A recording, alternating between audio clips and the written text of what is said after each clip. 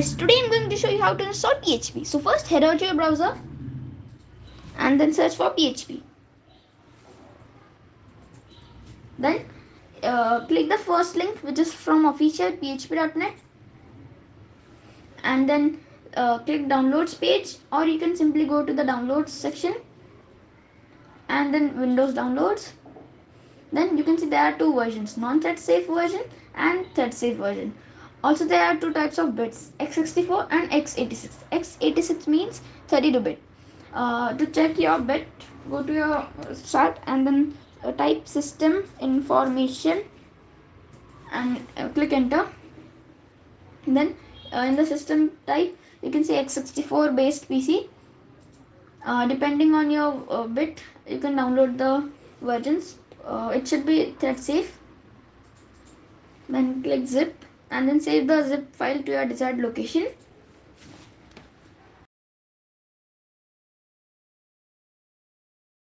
Uh, once the installation has been completed click the arrow and then click show in folder. After that let's extract our file. Right click on it and click extract to php 8.1.1 then open the file. You can see all the uh, tools are required are in there now let's copy it. Now uh, go to uh, your C directory then program files and then paste it. Click to continue.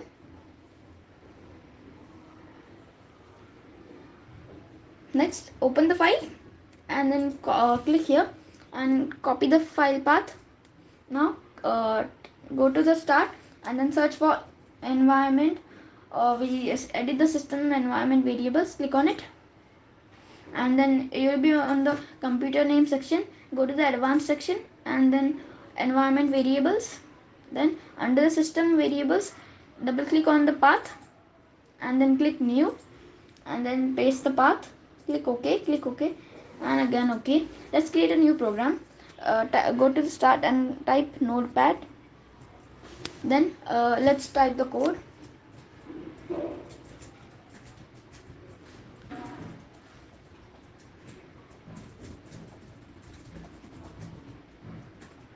uh, now let's save the file.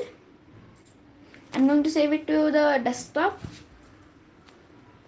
And the name should uh, name I'm going to keep is ayush.php now go to your command prompt and then click enter. Then let's change the directory to desktop. Now let's uh, type php then file name